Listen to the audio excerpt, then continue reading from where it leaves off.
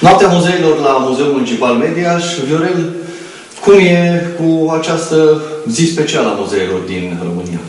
Este o zi cu atât mai specială datorită faptului că este prima ediție pe care am gândit-o sub forma acestui proiect cunoscut în România de câțiva ani de zile, uh, acel de Noaptea Muzeilor, și, bineînțeles, ne propunem să nu fie și ultimul. Uh, este un prim pas pe care îl facem în, uh, în acest demers și cu siguranță la anul vom fi mult mai bine pregătiți, vom ști să uh, gândim altfel evenimentul ca să fim siguri de o reușită mult, mult mai bună. Inclusiv în acest an, cu toate că încă nu s-a terminat, suntem la, mai avem câteva ore până la închiderea programului, suntem destul de mulțumiți de, de ceea ce s-a întâmplat în cursul acestei zile. Bineînțeles, 18 mai este o zi care uh, celebrează pe plan mondial uh, Ziua Internațională a Muzeilor. Uh, la fel uh, și Muzeul Municipal din Media și de fiecare dată, uh, cu această ocazie specială, organizează diferite acțiuni, inclusiv uh, la muzeul nostru, aceste acțiuni dedicate acestui eveniment special. Uh, am început undeva în jurul la miezii. A fost, uh, practic, uh, o finalizare a unui proiect început în urmă cu o lună de zile, împreună cu un grup de elevi de la Liceul Automecanică din Mediaș, condus de către doamna profesor Daniela Paraschiței, proiect intitulat Descoperă șase milenii de istorie, situri arheologice din zona Mediașului.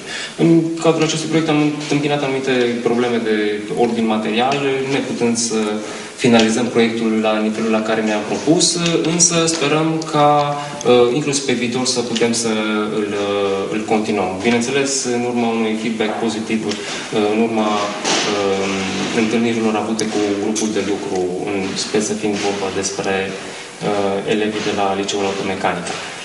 E mult mai tentat să vizitezi muzeul noaptea? Ți s-a întâmplat vreodată, fiind, eu știu, să rămâi câteva ore bune peste program și să umbli așa singur prin muzeu? Aproape de fiecare dată.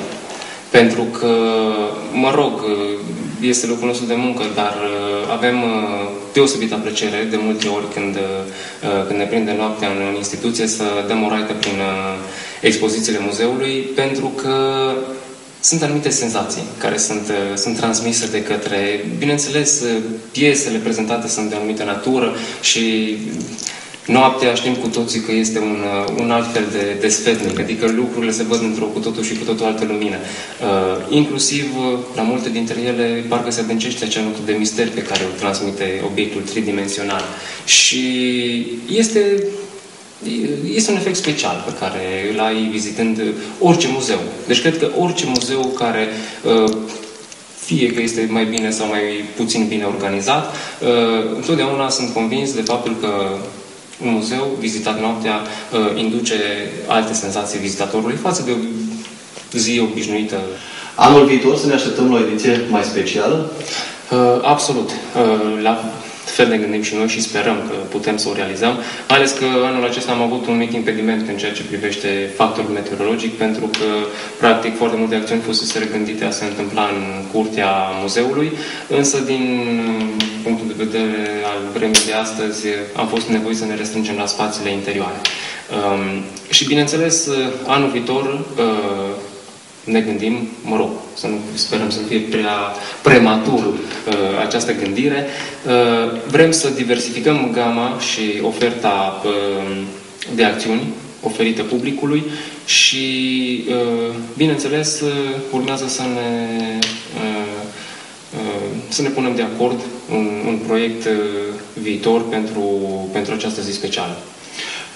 Acea expoziție de numismatică, care pe data de 16 era trecută pe, pe afiș ca să fie închisă pentru public, va mai rămâne deschisă? Da, va mai rămâne deschisă, cred că cel puțin două săptămâni.